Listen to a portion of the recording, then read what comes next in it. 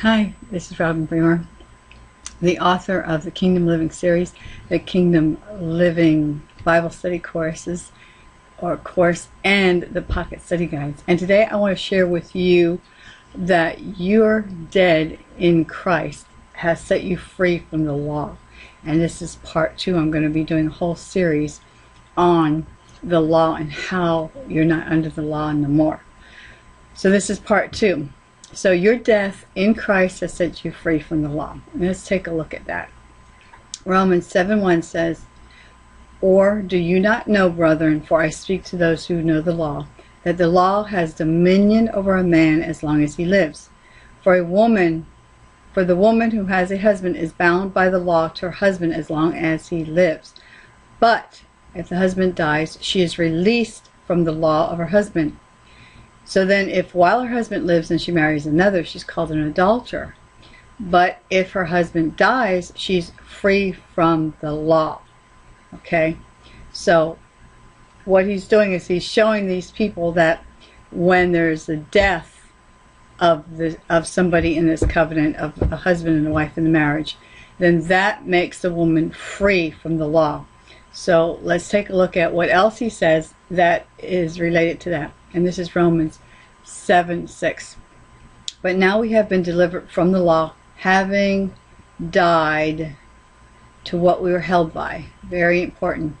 Now we have been delivered, have been delivered from the law.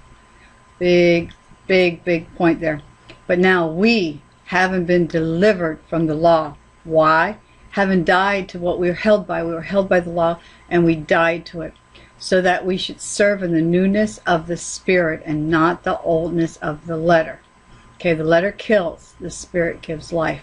The Old Testament was all about the letter, the law. The New Testament is all about being led by the Holy Spirit. And so, right here, you can see that God wants us to be led by the Spirit, not by the law. We died to the law. I don't know why it does that. We died to the law and having died to what we were held by so that we could serve in the newness of the spirit okay? And colossians 2.20 says therefore if you died with christ so you died with christ okay? Colossians 3 3 says for you died and your life is hid with christ. Again we died with christ. Galatians 2.19 for the but i through the law died to the law that I might live to God, that I, through the law, died to the law. Bold, underline. Okay? For I, through the law, died to the law, that I might live to God. So you see, the law does not bring life. The law kills. But the Spirit brings life. And when the Holy Spirit came to live in us, when we asked Jesus to be the Lord, our Lord and our Savior, then we die to the law. We're born again. So I hope this sets you free. Hope this is a blessing to you. And uh, we got part three going on tomorrow. And I'll talk to you later.